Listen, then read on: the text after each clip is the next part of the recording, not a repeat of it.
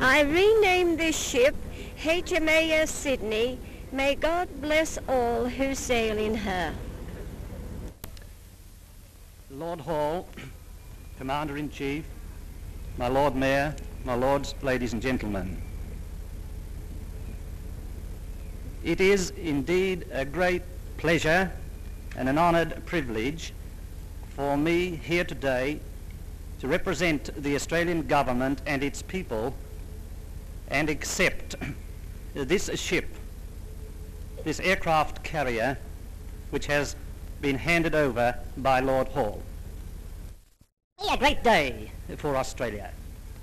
And it will be, if I may say so, a practical example that we're living in, a, in days when talk is one thing, but deeds is far more important.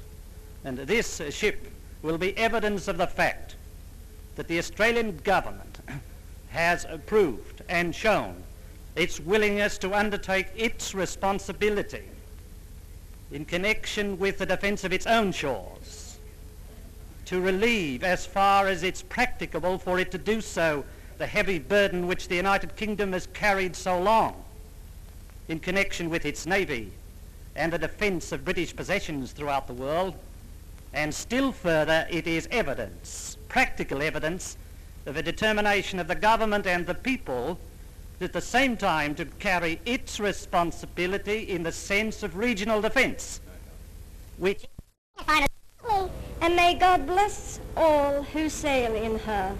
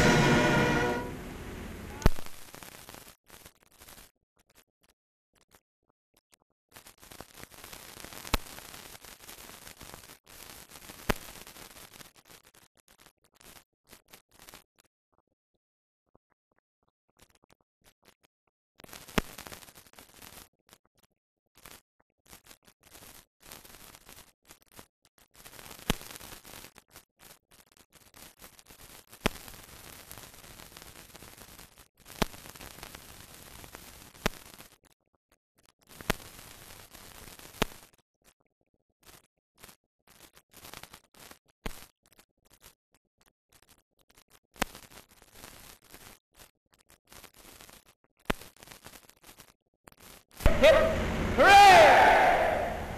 Hip, hip, hip, hooray! Hip, hip,